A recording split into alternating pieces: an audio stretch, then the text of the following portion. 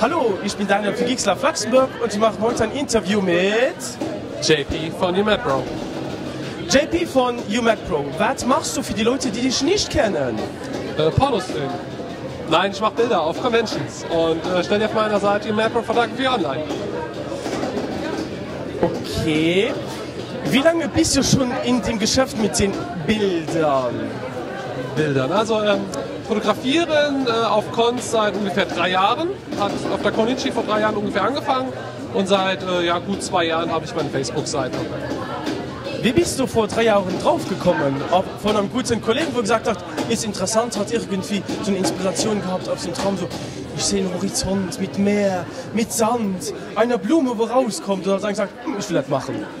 Ähm, so in der Art. Äh, Es war halt bei mir so, ich hatte immer schon Spaß an der Fotografie und äh, war durch, ja, als Cosplayer früher auf Conventions unterwegs und habe immer die Leute so geil gefunden, die so hier mit der Kamera Bilder gemacht haben. Ich dachte immer so, boah, das ist richtig geil, hätte ich auch Bock drauf. Und dann habe ich mir eine Einsteigerkamera geholt, einfach mal losgelegt und mal geschaut, wo es mich hinführt. Und es hat mir echt so viel Spaß gemacht, dass ich immer noch dabei bin und auch auf Conventions in ganz Deutschland fahre und dort fotografiere. Wie kommt man tatsächlich vom Cosplay aufs Foto machen? Das muss man jetzt mal erklären. Ähm, ist eigentlich ganz einfach. Also du machst, du hast ein Cosplay an, ja, und dann hast du so dein Zeug und du stehst irgendwo und irgendjemand macht ein richtig scheiß Bild von dir mit dem Handy und denkst so, das Bild ist echt kacke, ne? das sieht echt total scheiße aus. Du siehst dann andere Fotos von anderen Leuten, die da gemacht wurden, jemand mit einer richtig guten Kamera und denkst so, oder du denkst, oh, das ist die Kamera und daran hängt das denkt man am Anfang so. Und dann sind die Bilder echt Bombe. Du denkst, boah, cool, alles scharf, Hintergrund scharf, geil. Wie kriege ich das hin? Und damit habe ich mich damit befasst und habe einfach mal so privat angefangen, auch zu, mehr zu fotografieren, weil es hat mir immer schon so Spaß gemacht. Ich hatte früher eine Digicam und damit halt rumgeknipst. Und ja, dann habe ich teilweise beides gemacht, also Cosplay und fotografiert. Aber wenn du so ein Cosplay hast, hast Mantel, Schwerter und äh, hast dann die Kamera und ein Fototrolley und Stativ, du kannst nicht alles tragen. Es geht nicht, das ist unmöglich. Ähm, oder du bringst Leute um und das ist in Deutschland halt verboten. Also musste ich mir entscheiden, was mache ich. Da habe ich gesagt, okay, ähm, ich bleibe ein bisschen mehr mit Fotografie. Das hat auch ein bisschen so, ist komfortabler. Man schwitzt sich in einem Cosplay in den Tod, wenn es draußen 30 Grad sind. Oder man friert sich keinen Arsch ab, wenn es draußen nur 10 Grad sind. Und ja, so bin ich halt tatsächlich an die Cosplay-Fotografie gekommen. So einfach, wie das vielleicht klingt.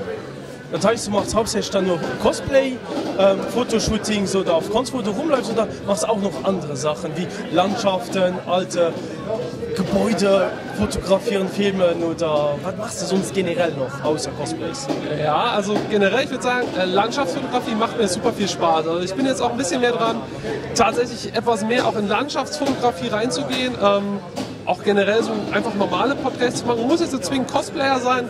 Cosplay finde ich halt geil, weil ich mag halt Animes und so, gebe ja gut ab. Und ich kann mich mit der Materie halt sehr gut auseinandersetzen. Ich bin zum Beispiel durch die Cosplayer zu dem Spiel League of Legends gekommen, weil ich habe immer die Leute gesehen, so, die rumgelaufen sind, ja, ich bin jetzt, keine Ahnung, Katharina. Da habe ich gewusst, ah, okay, sie ist Katharina. Und dann frage ich zehn Minuten später, hey, wer bist du? Und sie so, ja, ich bin Katharina. Und ich dachte so, komplett unterschiedlich. Und da zum Beispiel bin ich an das Spiel gekommen, aber um zurückzukommen auf die Frage, ähm, tatsächlich wird es in der Zukunft auch mehr in äh, Landschaftsfotografie gehen.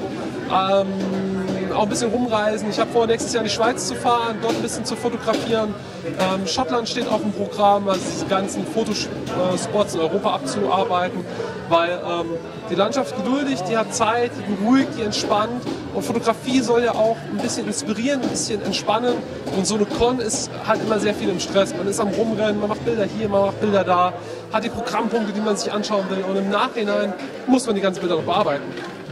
Und das ist halt, was die meisten Leute nicht sehen, ist halt einfach die ganze Zeit, die hinter Bildern hängt. Wenn du 500 Bilder hast, ja, und ähm, die machst du mal so in 7, 8, 9, 10 Stunden auf einer Con, ähm, hast du 500 Bilder und bearbeiten mal 500 Bilder. Und die Leute denken dann so, ja, das sind zwei, drei Klicks, ja, das sind zwei, drei Klicks und dann nochmal ein paar Stunden in Photoshop. Und das... Und dann, das ist halt so die Relation. Es, es kostet halt alles sehr viel Zeit und ähm, Landschaftsfotografie ist zum Teil, du kannst sehr viel schon in der Kamera lösen. Es ist entspannt ein bisschen. Wenn man sitzt da manchmal so eine Stunde und schaut zu den Wolken zu und drückt ab und zu mal auf den Außen, dann ist es ist richtig entspannt und chillen. Okay, das heißt, wie ich jetzt rausgehört habe, hast du dich evaluiert. Das heißt, du bist von einer kleinen Raupe in dein Kokon geschlüpft und jetzt versuchst dich weiter zu entfalten. Mit dem Thema, wo ich ja gesagt habe, mir in der Landschaft ein guter Freund von mir, der macht auch Bilder. Der war irgendwo ähm, am Strand gewesen, hat er auch die gehabt und hat sich lang belichten lassen. Das finde ich Streifen als ihn, das sah genial aus. Das verdammt schwer, kann ich mir vorstellen. Aber die Evolution, wo du machst, wird das auch dann so ein Ding sein, wo du sagst, okay, ich arbeite eben dann so mit Effekten, dass ich länger belichten lasse und dann dass äh, etwas rauskommt, wo es am Anfang gar nicht so siehst auf den ersten Blick. Ähm, ja, das ist genau der, der Zauber an der Landschaftsfotografie. Ähm, also eine Langzeitbelichtung, du brauchst halt entsprechende Filter dafür, um es realisieren zu können. ND-Filter, also neutral dichte Filter, ähm, habe ich schon. Ähm, du hast auch Verlaufsfilter, die dann einen Teil des Bildes, den Himmel abdunkeln. Und du kannst ja die Filter kombinieren und dann eben diese Effekte, wie du sagst, äh, die Wellen ähm, ziehen langsam hin, ja, wo du denkst, so der normale sieht nur so Spritzwasser und auf dem Bild ist auf einmal dann so schön fließendes Wasser um einen Stein und eventuell ziehen die Wolken sogar noch, je nachdem. Du kannst auch in Photoshop zum Beispiel zwei Bilder machen.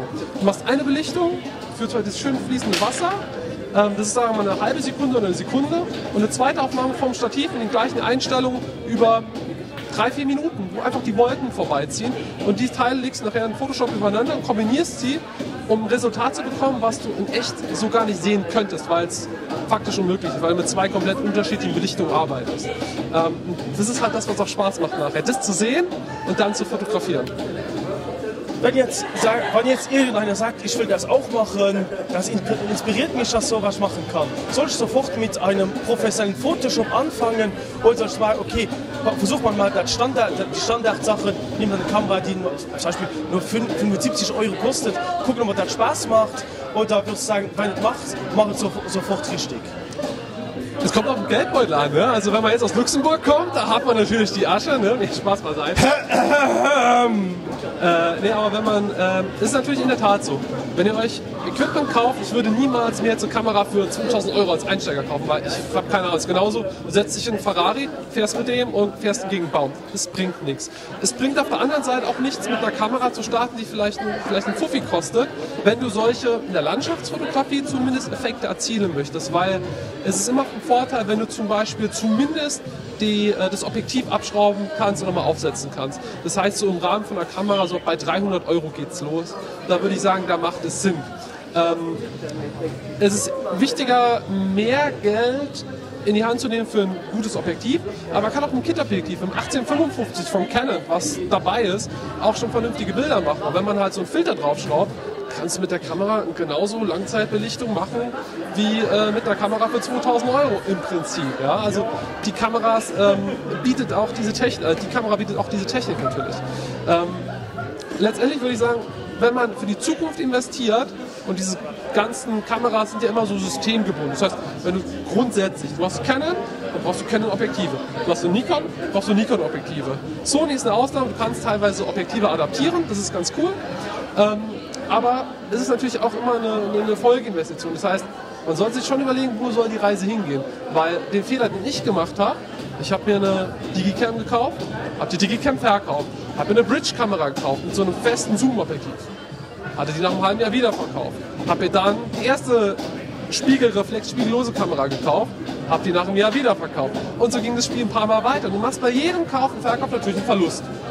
Ganz klar. Vor allem, wenn du Systeme wechselst von Fuji auf Sony und dann von Sony Amon auf Emon. Es kostet halt alles wiederum Geld, weil du musst es verkaufen, die Zeit, in Ebay reinsetzen. Ist halt alles ein bisschen tricky. Deswegen würde ich sagen, such dir ein System aus.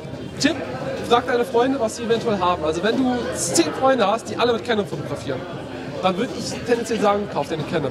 Wenn du zehn Freunde hast, die eine Nikon haben, kauf dir vielleicht eine Nikon, weil du kannst dir, wenn du die Kamera hast und dein Kumpel hat ein Objektiv und genau das Objektiv brauchst du, dann leistest du dir halt aus. Das spart dir Geld. Ist super easy, super einfach.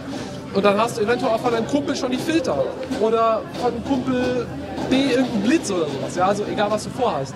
Ähm, da würde ich mich einfach orientieren und die Kameras im Einsteigerbereich, ob das jetzt eine Canon 1300 ist oder eine, eine Nikon eine vergleichbare oder eine, eine Canon 80D oder was weiß ich was, ähm, die nehmen sich alle in der Grundsubstanz nicht viel. Die sind alle sehr ähnlich und wenn du Landschaften fotografieren möchtest, kannst du theoretisch das mit jeder Kamera machen. Solange du halt, sage ich mal, ähm, Filter aufschrauben kannst, musstest du darauf achten und dass du guckst, dass die ähm, Kamera ein, ein austauschbares Objektiv hat. Da kannst du in Ultraweitwinkel gehen, aber zum Beispiel auch einen Telesucher haben, um Sachen, die weit sind, da ranzuholen. Okay, das heißt, war relativ viel Info in kurzer Zeit. Einfach, einfach das Video dann noch zwei, drei, vier, fünf Mal holen oder wenn ihr Fragen habt, auch gerne einfach hier mir bei YouMerkens Photography auf Facebook eine Mail schreiben, eine Nachricht schreiben, kein Problem, ich bin vorher da, alles gut. Moment, jetzt kommen wir dann zur letzten Frage. Wenn man äh, irgendwie äh, mehr über dich äh, erfahren will oder dich buchen will, wo kann man das machen? Ach so, ja, man kann mich äh, buchen. Äh, ist natürlich viel gesagt. Ich mache das alles so hobbymäßig. Also ich verdiene mit der Sache hier mit dem ganzen Scheiß kein Geld. Also es ist alles nur Hobby, wie quasi jeder Fotograf, der hier rumrennt, alle eigentlich das nur Hobby machen. Das heißt, jeder, der sich hier hinstellt und fotografiert, das ist denn ihr Hobby, das ist denn ihre Freizeit. Deswegen, egal welcher Fotograf euch fotografiert, wertschätzt das. Denn er hat mit seinem eigenen privaten Geld diese Kamera, das Objektiv, den Blitz und allen Scheiß gekauft, ist zur Con hingefahren, hat dort ein Hotel gebucht und das ist alles Freizeit. Das heißt, buchen ist immer ein bisschen schwierig, aber man kann mich natürlich anschreiben für Fotoshootings. Ähm, auf Facebook, Pro Photography, mir einfach ähm, kurze Mail schreiben. Ich komme ähm, aus der Nähe von Saarbrücken, also ich jetzt hier im März quasi Heimspiel.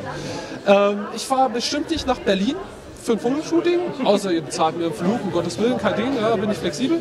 Ähm, aber alles im Umkreis ist auf jeden Fall drin.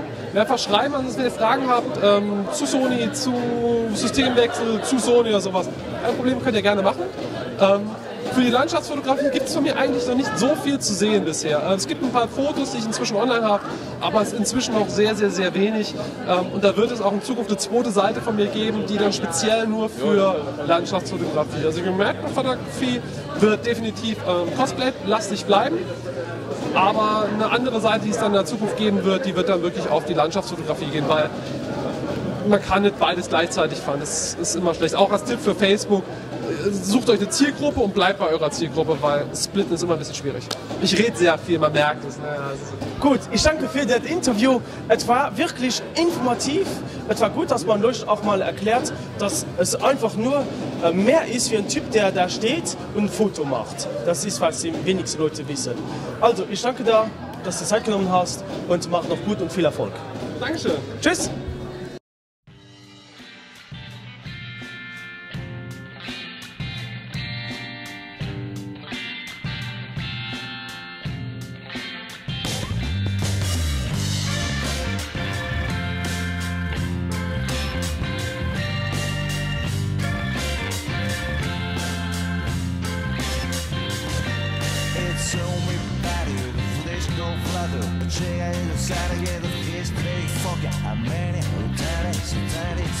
you tell it fun. There's no water for hold. Together, together, But nothing, I'm trying, I'm